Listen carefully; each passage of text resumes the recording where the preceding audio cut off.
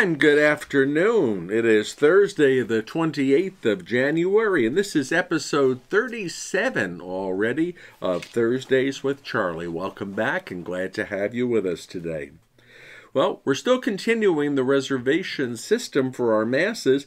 We got word from the diocese this week that they were easing up on some of the regulations, but when I read through the easing up on the regulations, it really isn't anything that affects us for the good. Uh, they're going to say that instead of having a individual phone number for every person, I can have an, a phone number for every family group that doesn't really change every anything for us. We still have to wear masks, we still have to take temperatures, we still have to limit our attendance to only 25% of the occupancy, uh, and we still need to keep uh, these records for contact tracing. So it doesn't really, even though they said they're new regulations, it doesn't really change anything for us. They also did say that we cannot serve food, which we knew about already, and we cannot set up a meeting in any way where people would be facing each other. So everything would have to be set up almost like a classroom setting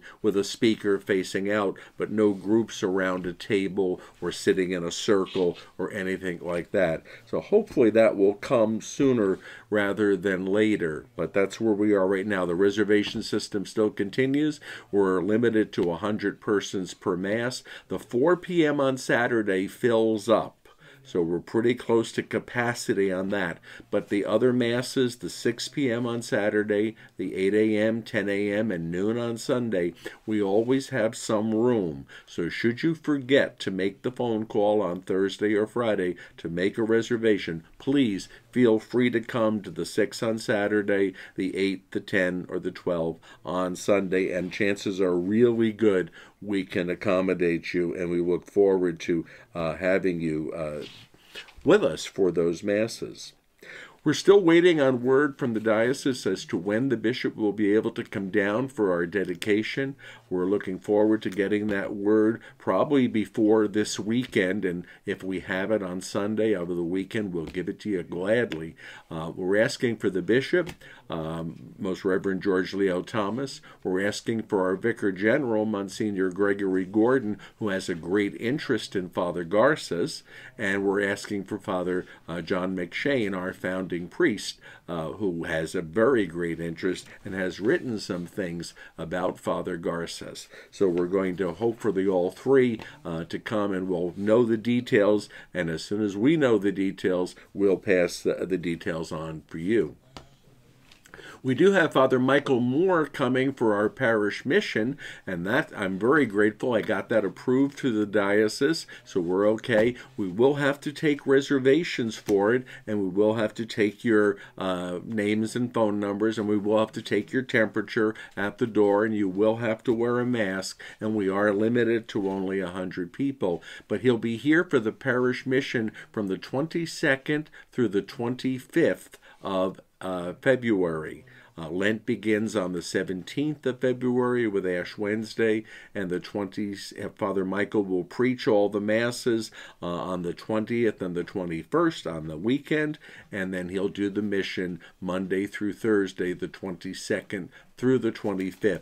As soon as we get the forms made out for the reservation system for that, we will be glad to start taking them as we know a lot of people are very interested in Father Michael coming, and we're looking forward very much to having him here with us for the parish mission. I think this is his 13th or 14th year doing it for us. So we're very glad that we've had that relationship and we continue to have it with Father Michael Moore.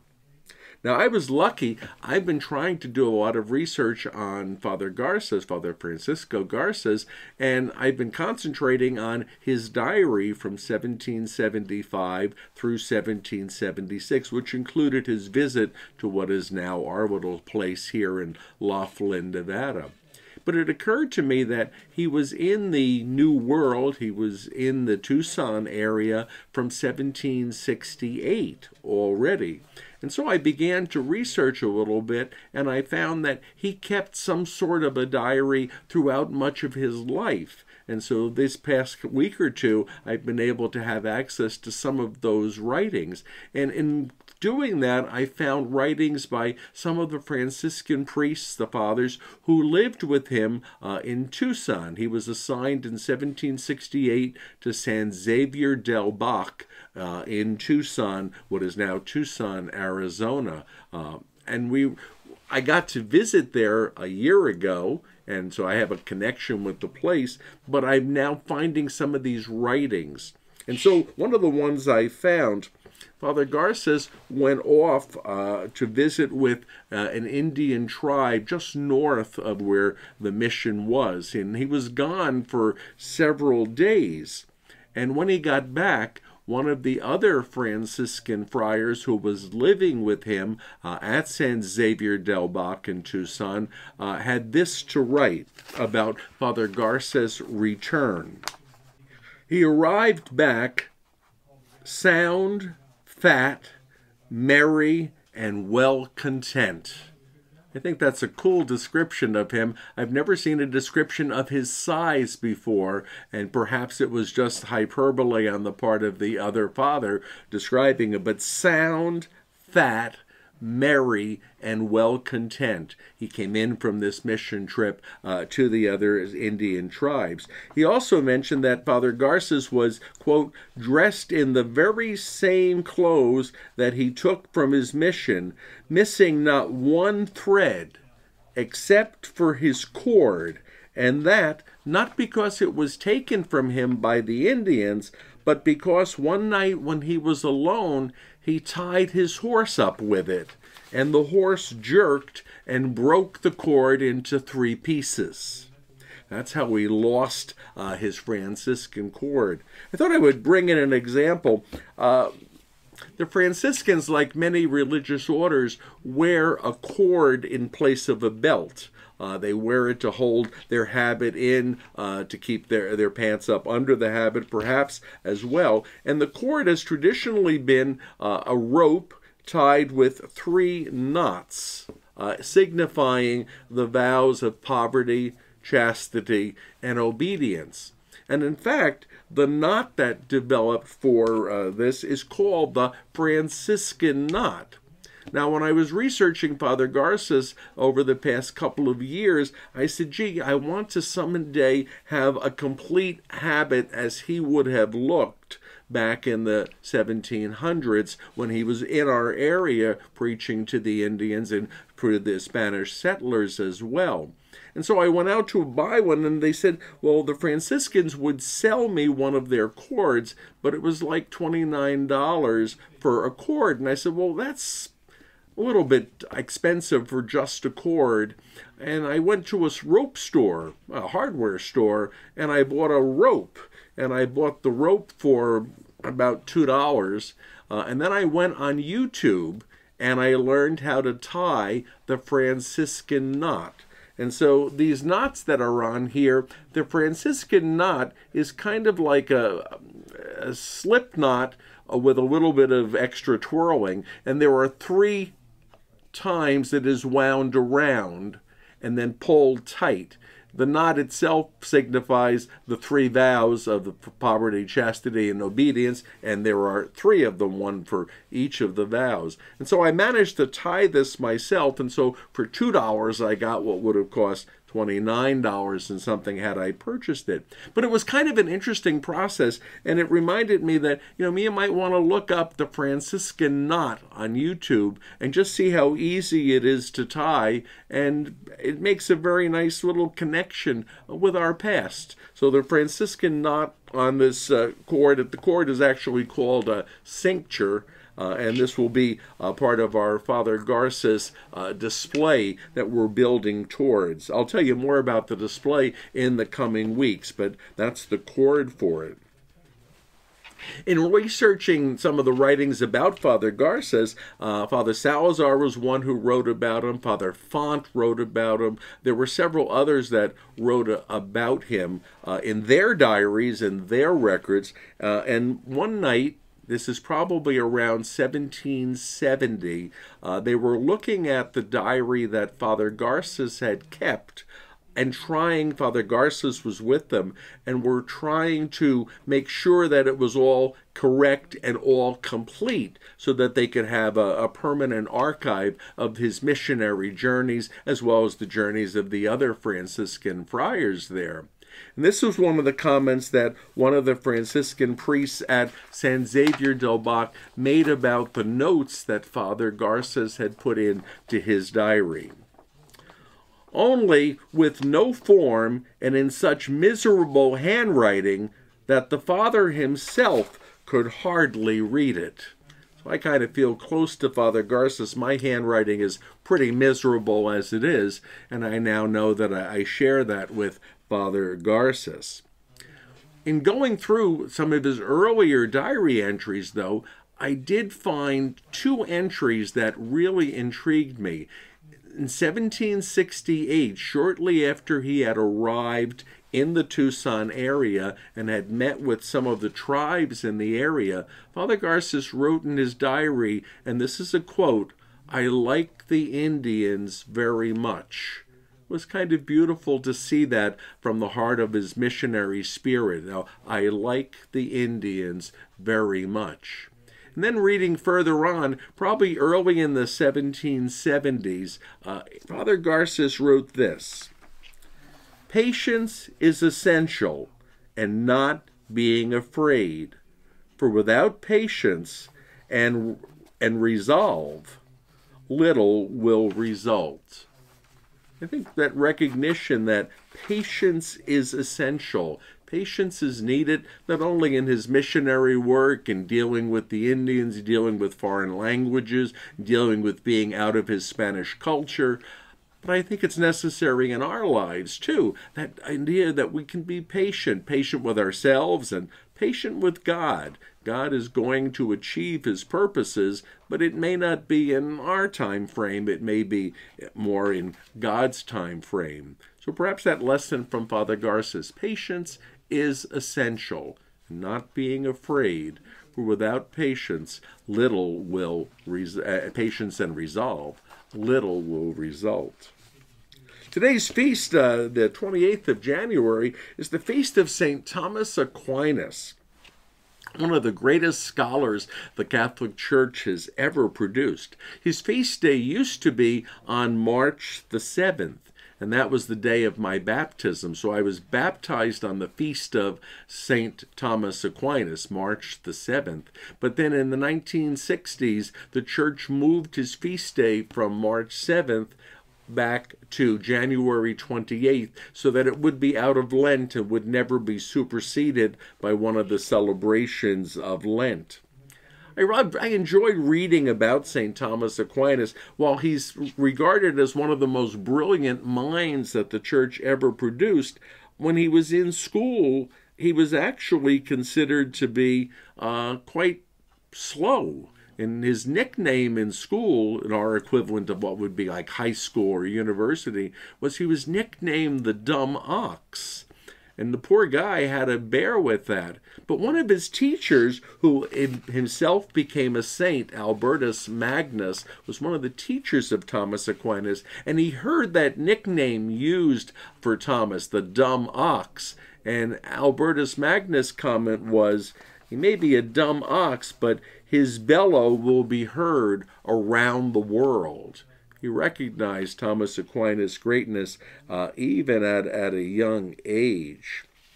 Thomas Aquinas, as he grew older, he was a member of the Dominican religious order, um, and he developed kind of a weight problem. Uh, Father, uh, they describe it that he was actually quite heavy, and most of his work was not physical work, it was scholarly work.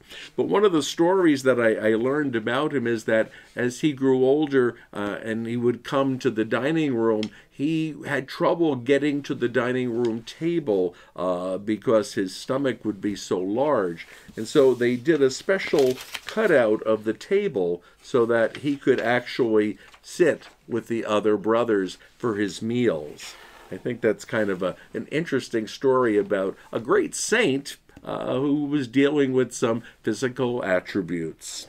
Thomas Aquinas is known primarily by us for writing the Summa Theologica, a great collection of Catholic theology. He was born in 1226, so he's a contemporary of St. Francis of Assisi, uh, and he took 1,200 years of theology, of the church's teachings, of the church's beliefs, the church's morals, and he was able to put them into this compendium, the Summa Theologica. He developed a system of thinking which has come down to our own day and is known as scholasticism or the scholastic method. Very reasonable, very logical, very scholarly. He was also a great writer of hymns. Uh, some of our most famous hymns in Latin and, and, now in English come to us from St. Thomas Aquinas. Uh, one of the most famous is Panis Angelicus, the bread of angels. If you ever have a chance to hear some of the great uh, singers of our time doing that, uh, Andrea Bocelli did a beautiful version of that. He's famous for the Pange Lingua, uh, and part of the Pange Lingua is one of our benediction hymns, the Tantum Ergo. Pange Lingua in Latin means uh, sing my tongue. The song is Sing My Tongue, the Savior's Glory. The Tantum Ergo is the last two verses of the Pange Lingua. So great a sacrament. We sing that at benediction. He's also famous for writing the uh, Adoro te devote, which in English we sing as Humbly We Adore Thee. That's a beautiful communion hymn. Most of Thomas Aquinas' hymns that he wrote, the words to, were all connected with the Holy Eucharist. He had a great devotion uh, to the, the Mass and to the Holy Eucharist, to the importance of receiving communion, to the importance of being with Christ uh, in the Eucharist. He's also very famous in this for his scholastic method. He devised what are called the five proofs for the existence of God. Now we have to understand proof is is not exactly the way we would understand proof. It doesn't prove absolutely, but it proves logically. It is more logical to think that there is a God than than it is logical to think that there is not a God. And so I thought I'd go over. I used to teach these to my sophomores uh, when I taught high school, and I thought I resurrected some notes, and I thought we should just go over the five proofs. They're fun to think about, uh, and they're they're kind of compelling. Uh, the first proof that Thomas Aquinas puts forward for the existence of God is the proof from motion, that motion has to have a beginning. Things don't move unless somebody moves them. That's why they go. And he says you can go back and say, well, that object moved that or that person moved that. He said at some point you have to go back to a first mover or a prime mover. Some people say that physics actually supports this uh, right now by saying that if we have an expanding universe, it has to have started at some point expanding and whatever caused that start would be the prime mover of Thomas Aquinas and would be uh, one of the proofs. It's reasonable to think that there is a God. Second proof is very similar to that, uh, as we spoke in the first proof, there's a first mover. St. Thomas Aquinas says, for anything in the world, there has to be a cause cause and effect go hand in hand. But it's illogical to go back and say there's a, an, well, that caused that, well, that caused that. Ultimately, we have to get, according to Thomas Aquinas, to the first thing that caused something else to happen. And he says, whatever that is, that's God. Notice these proofs are not telling us an awful lot about God. They're just saying that it's very reasonable to believe, to think that there is a God. In fact, it's more reasonable to think that there is one than it would be reasonable or unreasonable, actually, to think that there isn't. The third proof is the proof from contingency uh, versus necessity. And Thomas Aquinas posits that if everything is contingent, then it could all go out of being. if you have contingent things, things that depend on other things, there has to be logically something that's necessary.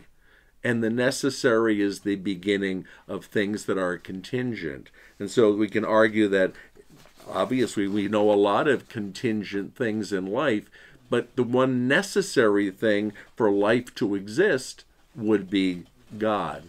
And so it's reasonable to assume that there is a God. The one I like best is his fourth proof for the existence of God, and that's from perfection. He said, if we can make comparisons, if we can say that something is good, well, then we can also say that something is better.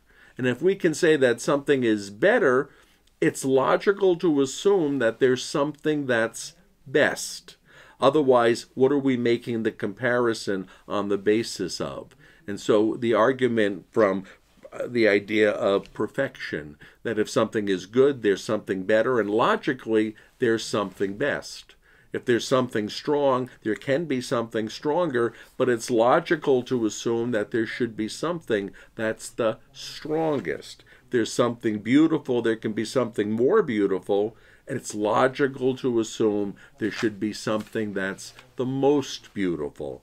That's the proof of uh, Thomas Aquinas that I, like the best. I kind of like the idea that if we're making comparisons, we get to a point where there has to be that perfection in comparison. The fifth proof that Thomas Aquinas has is what's called the anthropic principle that our universe is designed in such a way that it makes our life possible. And if there's such a benevolent design in the universe, we have air, we have beauty, uh, we have uh, food, we have all these relations with one another. If there's something so beautiful by design, there must be a designer. And God is that designer. And I, I think that that's a beautiful proof. I wish we know the world works in our favor. We know we have good relationships with people. We know we have things like love and free will that are so important to us. We know we can breathe the air that's around us. That was put there by design. And if there's design, then Thomas Aquinas says it's logical there should be a designer. One other thing that Thomas Aquinas wrote that I really have always liked is he had a definition for evil that I think is very, very powerful. Thomas Aquinas said, Evil is the absence of good where there should be good. He defines evil as something very, very negative. It's not that it's something, it's an absence of something. And it's sad because it's an absence of good where there should be good. I like that definition very much for evil. Well, after that romp through scholastic, scholastic philosophy, it's time for Pascal to join us. and today he brings us what I think would be our first of many quotes that we're going to remember from Father Garces. Patience is essential. In Latin, patientia necessaria est patience is essential. We have to be patient with ourselves. We have to be patient with God. After all, it is still God's world. God bless you, and thanks for joining us.